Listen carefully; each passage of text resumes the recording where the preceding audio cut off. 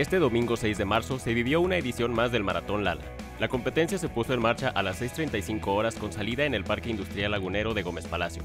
Fueron los de capacidades diferentes quienes dieron inicio a esta gran fiesta. Diez minutos más tarde, el mar de atletas encabezado por los corredores élite le continuó.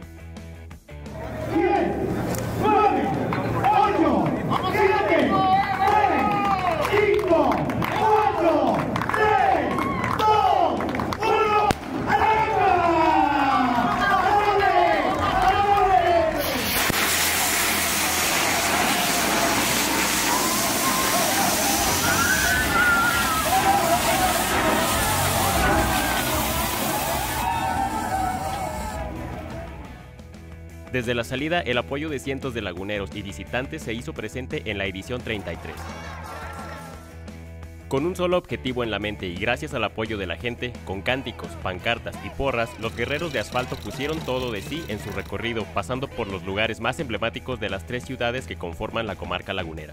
En Lerdo, el avión de Sarabia les daba la bienvenida, pero al mismo tiempo los veía retornar a la ciudad de Gómez Palacio, donde el desnivel 1140 hacía de las suyas, pues la subida, el sol y el calor ponían en jaque a los corredores.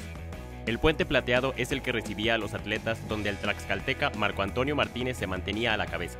Pasando por los sitios más representativos de Torreón como la Plaza Mayor, la Avenida Juárez, las instalaciones de esta casa editora, el Museo Arocena, así como la famosa fuente de Torreón Jardín, estos lugares fueron testigos de miles de corredores quienes culminaron en el pulmón de la ciudad, el bosque Venustiano Carranza.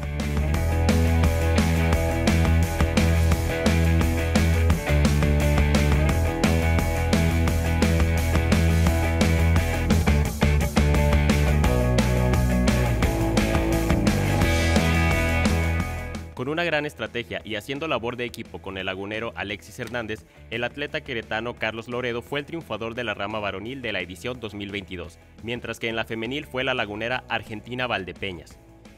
El lagunero Alexis Hernández, que hacía su debut en el Maratón Lala, luego de haberse adjudicado dos medios maratones recientemente en la región, incluido el 21K El Siglo de Torreón, llegó quinto, con tiempo de 2 horas 29 minutos y 27 segundos en medio del reconocimiento del público.